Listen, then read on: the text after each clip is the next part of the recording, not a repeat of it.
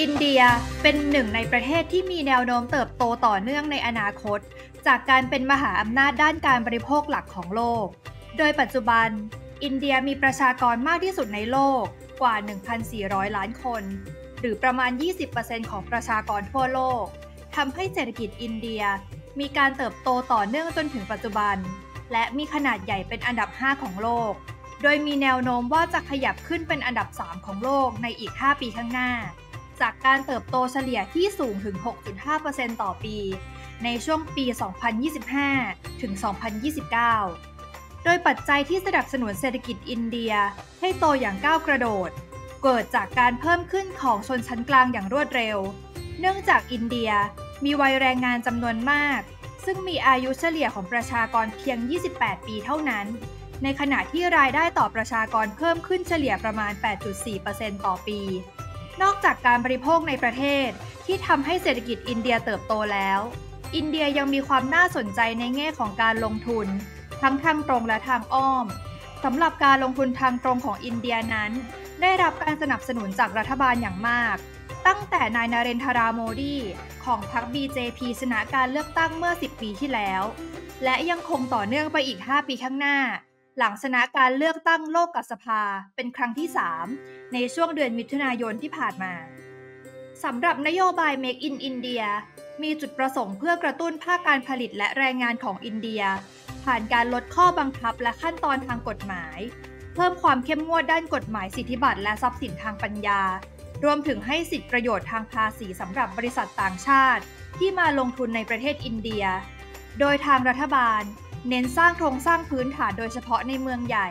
เช่นการขยายทางหลวงมากขึ้น 60%ภายใน 9 ปี จาก 91,000 กิโลเมตรในปี 2014 เป็น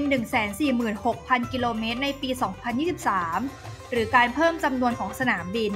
โดยในปี 2023 อินเดียมีสนามบินกว่า 148 แห่งทั่วประเทศ ความพยายามของรัฐบาลทำให้มูลค่าการลงทุนโดยตรงจากต่างประเทศหรือ FDI เพิ่มขึ้นอย่างก้าวกระโดด โดยประมาณ 65%ของ FDI รวม ตั้งแต่ปี 2000 ถึงปี 2023 เกิดขึ้นภายในระยะเวลาเพียงหนึ่งทศวรรษ ที่พรรค BJP เป็นผู้นำรัฐบาล นอกจากนั้น อินเดียเป็นหนึ่งในประเทศ ที่ได้รับประโยชน์จากความขัดแย้งด้านการค้า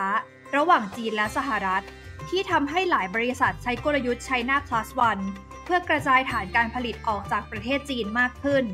ทำให้การลงทุนภาคเอกชน เติบโตได้อย่างต่อเนื่อง โดย 2 ปัจจัยที่ดึงดูดนักลงทุนต่างชาติมากที่สุดคือ โอกาสในการเข้าถึงตลาดขนาดใหญ่ภายในประเทศอินเดีย และโอกาสในการผลิตด้วยต้นทุนต่ำ เพราะราคาค่าแรงไม่สูงมากนัก เมื่อเทียบกับประเทศกำลังพัฒนาอื่น FDI ของประเทศอินเดียนั้น มาจากการเพิ่มขึ้นของ Greenfield Projects หรือโครงการใหม่ที่ต้องมีการสร้างอาคารและสิ่งอำนวยความสะดวกใหม่ทั้งหมดด้วยตนเอง แตกต่างจาก Brownfield Projects ที่เป็นการลงทุนโดยเช่า หรือซื้อสิ่งปลูกสร้างที่มีอยู่เดิมในประเทศ ซึ่งปกติแล้ว Greenfield Project เป็นโครงการที่ทำให้เม็ดเงินไหลเข้าประเทศได้มากกว่า เนื่องจากผู้ลงทุนต้องเป็นผู้ลงทุนก่อสร้างด้วยตัวเอง โดยในปี 2022 อินเดียมี Greenfield Project กว่า 1,000 โครงการ และสร้างมูลค่าได้มากถึง 78,000 ล้านดอลลาร์สหรัฐ หนึ่งในบริษัทระดับโลกที่เข้ามาสร้างฐานการผลิตในอินเดีย ได้แก่ Apple ที่ประกาศให้อินเดียเป็นหนึ่งในผู้ผลิต iPhone ในปี 2023 และส่งผลให้ในปี 2024 iPhone ที่ผลิตในอินเดีย คิดเป็น 14%ของยอดขาย iPhone ทั่วโลก และสร้างมูลค่าได้ถึง 14,000 ล้านดอลลาร์สหรัฐ อินเดียมีความพยายามให้ประเทศของตนเองเป็นศูนย์กลางด้านเทคโนโลยี เนื่องจากประชากรที่ได้รับการศึกษาส่วนใหญ่ มีความเชี่ยวชาญด้านคณิตศาสตร์และคอมพิวเตอร์ ซึ่งเป็นปัจจัยเชิงบวกทำให้บริษัทด้านเทคโนโลยีระดับโลก มาตั้งสำนักงานหรือฐานการผลิต โดยเฉพาะด้านการให้บริการด้านเทคโนโลยี เช่น call center และการให้คำปรึกษาด้านไอทีในเมืองที่ขึ้นชื่อได้ว่าเป็นซิลิคอนวัลเลย์แห่งเอเชียอย่างบังกลออีกหนึ่งปัจจัยที่ทำให้อินเดียน่าสนใจคือ การมีเสถียรภาพทางการเมือง ในการปกครองแบบระบอบประชาธิปไตย โดยอินเดียจะมีการเลือกตั้งสมาชิกสภาผู้แทนราษฎร ทุกๆปีที่เรียกว่าโลกกสภา ผลการเลือกตั้งครั้งล่าสุด ได้ประกาศในเดือนมิถุนายนที่ผ่านมา หลังกินเวลากว่า 2 เดือน โดยนายนเรนทาราโมดีแห่งพรรค BJP ได้รับชัยชนะต่อเนื่องเป็นครั้งที่ 3 แต่เป็นชัยชนะที่แตกต่างจาก 2 ครั้งแรก เนื่องจากผลการเลือกตั้งที่ผ่านมา เป็นครั้งแรกที่พรรค BJP ไม่ได้รับเสียงข้างมากในสภา โดยได้รับเสียงเพียง 240 ที่นั่ง จากทั้งหมด 543 ที่นั่งทำให้พรรค BJP ต้องเจรจากับพรรคอื่น เพื่อเข้าร่วมรัฐบาลเพิ่มเติม นักวิเคราะห์เศรษฐกิจและตลาดหุ้นอินเดียมองว่า รัฐบาลผสมในครั้งนี้ จะส่งผลดีต่อเศรษฐกิจในระยะยาว โดยเฉพาะด้านการลงทุนภาครัฐ ที่จะขยายความเจริญไปสู่ภูมิภาคทั่วประเทศมากขึ้น โดยการพัฒนาโครงสร้างพื้นฐานต่างๆ จะไม่กระจุกตัวอยู่แค่หัวเมืองหลักเหมือนเช่นเคย และปัจจัยบวกด้านการบริโภค เช่น ธนาคารและการบริโภคในประเทศ ซึ่งเป็นอุตสาหกรรมที่เกี่ยวข้องกับประชาชน จะได้รับประโยชน์มากขึ้น ในขณะที่บางอุตสาหกรรม ที่เคยได้รับประโยชน์โดยตรงจากการได้รับสัมปทาน เนื่องจากมีความสัมพันธ์อันดีกับรัฐบาลที่ผูกขาดในช่วงทศวรรษที่ผ่านมา เช่น กลุ่มโครงสร้างพื้นฐาน พลังงาน รัฐวิสาหกิจ และธุรกิจที่พึ่งพาการเติบโตจากปัจจัยภายนอก อาจให้ผลตอบแทนลดลงกว่าในอดีต การเพิ่มขึ้นของตลาดหุ้นอินเดียในช่วง 2 ปีที่ผ่านมา แม้ว่านักลงทุนบางส่วน จะมองว่าการลงทุนในตลาดหุ้นอินเดียในปัจจุบัน มีราคาสูงจนเกินไป เมื่อเทียบกับค่าเฉลี่ย 5 ปีที่แล้วในอดีต แต่หากมองโอกาสในการเติบโตในอนาคต ที่ตลาดคาดการว่า trailing return ของตลาดหุ้นอินเดียในอีก 3 ปีข้างหน้า จะโตได้เฉลี่ย 20%ต่อปีนั้น การลงทุนในตลาดหุ้นอินเดียในระยะกลางถึงยาว ถือเป็นหนึ่งในประเทศที่น่าสนใจลงทุน โดยเฉพาะในช่วงหลังการเลือกตั้ง ที่ตลาดหุ้นอินเดียโตเฉลี่ย 18%ภายใน 6 เดือน เมื่อพิจารณาจากการเลือกตั้งในระหว่างปี 1999 ถึงปี 2019 กองทุนเปิด Principal India Equity หรือ Principal India EQ ลงทุนในกองทุนหลักกองทุนเดียว ชื่อ Ashoka White Oak India Opportunities Fund ซึ่งบริหารการลงทุนโดย White Oak Capital Partners ประเทศสิงคโปร์กองทุนนี้สร้างผลตอบแทนสะสมตั้งแต่ช่วงก่อตั้งกองทุน ในช่วงเดือนสิงหาคมปี 2017 จนถึงเดือนเมษายนปี 2024 ได้สูงถึง 146.3%ในขณะที่ค่าเฉลี่ยกองทุนอื่น อยู่เพียง 118.5%เท่านั้น สิ่งที่ทำให้กองทุนประสบความสำเร็จ ทั้งในแง่ของขนาดกองทุน และผลตอบแทนระยะยาว มีดังนี้ 1. ผู้ก่อตั้งบริษัทไวโอ๊กคือคุณประชันเข็มขา เป็นอดีตผู้บริหารระดับสูงของบริษัททางการเงินระดับโลก อย่าง Goldman Sachs โดยคุณประชันเป็นผู้ก่อตั้งกองทุน Goldman Sachs India Equity Portfolio ในปี 2007 และสร้างผลตอบแทนที่ดีให้กับกองทุนต่อเนื่อง จนกองทุน Goldman Sachs India Equity Portfolio มีขนาดถึง 2,500 ล้านเหรียญสหรัฐ ภายในระยะเวลาเพียง 10 ปี กองทุนภายใต้การบริหารงานของคุณประชัน และตัวคุณประชันในฐานะผู้จัดการกองทุนหลัก ได้รับรางวัลมากมาย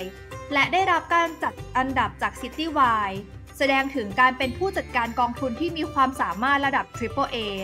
และจาก Fund Caliber ระดับ Elite จุดเด่นที่ 2 ของกองทุนนี้คือ White Oak มีทีมการลงทุนขนาดใหญ่ โดยปัจจุบันมีผู้จัดการกองทุนและนักวิเคราะห์มากถึง 45 คน ในขณะที่มีกองทุนภายใต้การดูแลหลักเพียง 2 กองทุนเท่านั้น ได้แก่กองทุนหุ้นอินเดีย และกองทุนหุ้นประเทศกำลังพัฒนายกเว้นประเทศอินเดีย โดยทีมการลงทุนที่วิเคราะห์หุ้นอินเดียโดยเฉพาะมีมากถึง 32 คน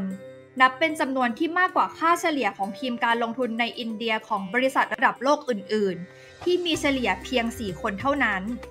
และเป็นหนึ่งในบริษัทจัดการ ที่สามารถวิเคราะห์หุ้นทุกตัว ทั้งขนาดใหญ่และเล็ก ครอบคลุมทุกอุตสาหกรรม และทุกการเสนอซื้อขายใหม่หรือ IPO ในตลาดอินเดียได้ และจุดเด่นที่ 3 คือแนวทางการลงทุนที่มีประสิทธิภาพ โดยเน้นให้พอร์ตการลงทุน มีความสมดุลผ่านการลงทุนในหุ้นขนาดใหญ่ประมาณ 55%และลงทุนในหุ้นขนาดกลางและเล็กประมาณ 45%ซึ่งเป็นการลงทุนในหุ้นตัวกลางและเล็กมากกว่าดัชนีชี้วัด MSCI India IMI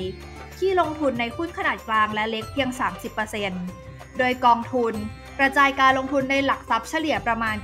75-100 ตัว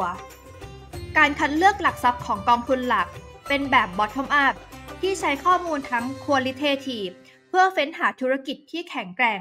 และ quantitative เพื่อหาหลักทรัพย์ที่มีมูลค่าเหมาะสม ประกอบการตัดสินใจในการเลือกลงทุน กองทุนเน้นลงทุนในบริษัทที่มีคุณภาพสูง และมี strong character คือ มีธรรมาภิบาลสูง มีกลยุทธ์การเติบโตจากปัจจัยภายในองค์กรเป็นหลัก เช่นกลุ่ม financial industrial และ consumer discretionary ซึ่งถือเป็นกลุ่มที่มีรายได้เติบโตสูง หรือกลุ่ม growth ในประเทศอินเดีย และพยายามหลีกเลี่ยงการลงทุนในกลุ่ม weak character ที่มีธรรมาภิบาลและการเติบโตต่ำหรือการเติบโตขึ้นอยู่กับปัจจัยภายนอก อย่างเช่นการได้รับสัมปทานจากภาครัฐ เช่น กลุ่มพลังงาน อสังหาริมทรัพย์ บริษัทนายทุนใหญ่ที่ผูกขาดธุรกิจในประเทศ รวมถึงผลิตภัณฑ์ยาสูบที่ถูกจัดอยู่ในประเภท consumer staples กองทุนอโชก้าไวโออินเดีย Opportunities บริหารงานภายใต้กรอบกำกับดูแล UCITS ที่ผู้จัดการกองทุนเน้นกลยุทธ์การกระจายการลงทุน และการบริหารความเสี่ยง โดยจำกัดสัดส่วนการลงทุนในหลักทรัพย์รายตัวสูงสุดที่ 10%ซึ่งทำให้สัดส่วนของหุ้น 10 อันดับแรกในปัจจุบัน อยู่เพียง 30%เท่านั้น ตัวอย่างหลักทรัพย์ที่มีสัดส่วนมากในพอร์ตการลงทุนได้แก่ ICC Bank ธนาคารที่มีสินทรัพย์เป็นอันดับ2ของอินเดีย โดยให้บริการทางการเงินอย่างครอบคลุม และเป็นผู้นำด้านดิจิทัลแบงกิ้งของอินเดีย สอดคล้องกับนโยบายดิจิทัลอินเดียของรัฐบาล รายได้ของ ICC นั้นเติบโตอย่างต่อเนื่อง โดย EPS growth ในช่วง 5 ปีที่ผ่านมา เติบโตเฉลี่ย 25%ต่อปี อีกบริษัทคือ InfoEdge India ผู้นำการให้บริการอินเทอร์เน็ตที่ครอบคลุมทั้งประเทศ และบริษัทยังมีการกระจายธุรกิจไปในรูปแบบอื่นๆ เช่นแพลตฟอร์มเว็บไซต์ด้านอสังหาริมทรัพย์ การศึกษา การจ้างงาน และการลงทุนในสตาร์ทอัพที่มีโอกาสเติบโตทำให้ Info Edge มีกำไรสุทธิเติบโตต่อเนื่อง โดยในปี 2023 กำไรสุทธิปรับเพิ่มจากปีก่อนถึง 222%กองทุนหลักเป็นหนึ่งในกองทุนที่สร้างผลตอบแทนในระยะยาวได้ดี เห็นได้จากผลตอบแทนตั้งแต่จัดตั้งกองทุน ที่อยู่อันดับต้นๆของกองทุนที่อยู่ในควอไทอันดับหนึ่ง โดยกองทุนสร้างผลตอบแทนได้เหนือตลาด ตั้งแต่ที่ตั้งกองทุนในปี 2017 จนถึงปี 2021 โดยในปี 2022 แม้ว่ากองทุนจะสร้างผลตอบแทนได้ต่ำกว่าค่าเฉลี่ย แต่ก็สอดคล้องกับการลงทุนที่ปรับตัวลงในตลาดหุ้นทั่วโลก และในปี 2022 เป็นปีที่กลุ่ม Weak Character ทำผลงานได้ดีกว่า Strong Character ซึ่งทำให้ตั้งแต่ปี 2022 เป็นต้นมา ผู้จัดการกองทุนมีการเพิ่มน้ำหนักในกลุ่ม Weak Character มากขึ้น เพื่อที่จะไม่ให้เกิดผลกระทบทางลบกับผู้ลงทุนมากจนเกินไป แต่การลงทุนในกลุ่ม Weak Character นั้น ยังถูกจำกัดให้ลงทุนน้อยกว่าดัชนีชี้วัด เพื่อควบคุมคุณภาพ และให้สอดคล้องกับมุมมองการลงทุนในระยะยาว ทำให้ในปี 2023 จนถึงปัจจุบัน ผลตอบแทนของกองทุนอยู่ใกล้เคียงกับค่าเฉลี่ยของกองทุนหุ้นอินเดียระดับโลกได้ และรักษาคุณภาพได้ต่อเนื่อง จากการที่ได้รับ Morning Star ระดับ 4 ดาว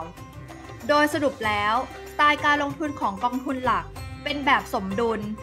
โดยลงทุนในหุ้นทุกขนาด เน้นลงทุนในกลุ่มอุตสาหกรรมโกรสที่มีคุณภาพสูงเป็นหลัก ในขณะที่สามารถควบคุมความเสี่ยงของกองทุน ให้อยู่ระดับที่ใกล้เคียงกับตลาดได้